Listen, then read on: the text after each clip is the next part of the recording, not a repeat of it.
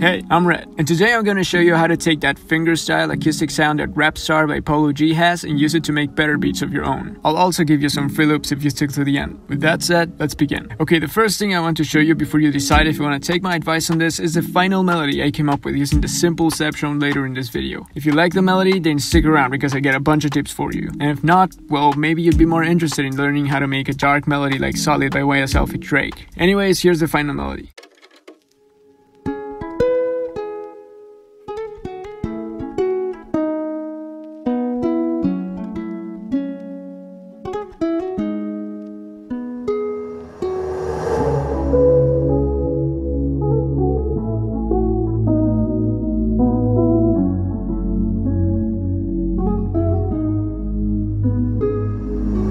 Rapstar's melody has one main element, and that is the fingerstyle guitar or ukulele lead melody. So let's break it down. For the sound selection in this part, I will be using the nylon guitar preset on Omnisphere, but if you want a free alternative, I recommend the DSK dynamic guitars. This beat was made at 160 BPM, by the way. Step 1. Which note should I use? When it comes to arpeggiated beats in this style, usually the first thing you want to keep in mind is that you're going to be arpeggiating notes, not simply playing random ones. You need a bass. So to start, first let's choose those chords. Usually for melodies like Rapstar, not necessarily happy but also not necessarily sad, I like to use a descending progression in the first three bars and then go up a bit here. But to make it chill, this order is not enough. We need chords that express that too, so I'll add this chord progression, let me play it for you first and then I'll explain why it works.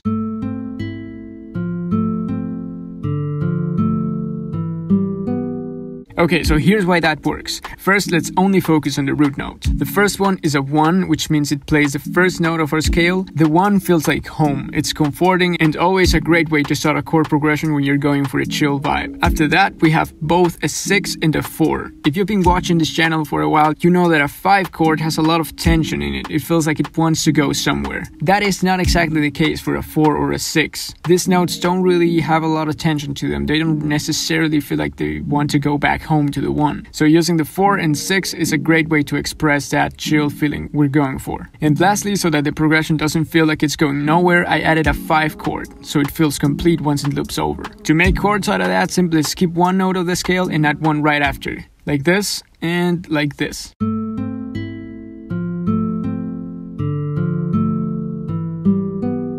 Okay, now we know which chords we're going to use. Now let's make a melody out of that. Usually the first thing you want to do is play an ascending arpeggio. You know, like in the example I just showed you. But if I did that, then I would just be copying Rapstar. So to deviate a little from that, my second best go-to is playing the fifth and the root together with the third one beat later, like this.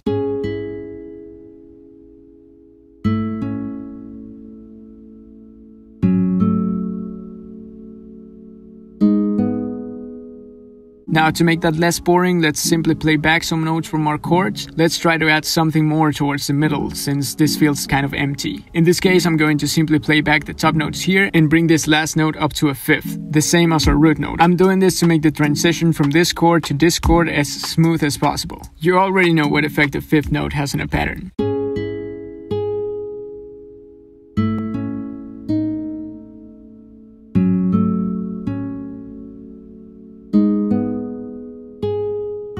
And now for the last part, I'm going to first add the sevenths. The seventh notes are two spaces above our fifths. So if this is the fifth, then six and seven. And again here, six and seven. Seventh notes give the chord a prettier sound, so it will sound fuller. And also I want to add that fast note switch Rapstar has. You know what I mean, that that. I'm going to add that at the end of bars 1 and 3. To add it, first choose 3 notes of the scale that are right next to each other. I recommend choosing the notes right in between the 5th of your chord. Also, by the way, there is a difference between the 5th note of a chord and the 5th note of a scale. I want to make that very clear so you don't get confused later. The 5th note of a chord means the note number 5 starting the count from the root note of your chord. And the 5th note of the scale means the note number 5 starting the count from the tonic, the first note of the scale. Okay, back to the melody. Now place one on top, half a beat later a note below it, and half a beat later a note below it. Now cut the first part of this note out and fill that space like this. Lastly, cut the last half beat like this. And that's it for the main melody.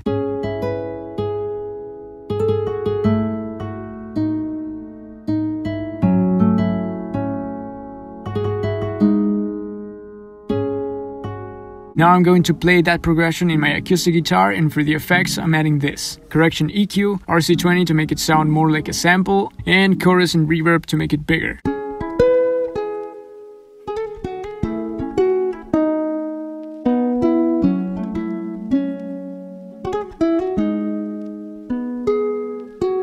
Now all we need are some generic trap drums.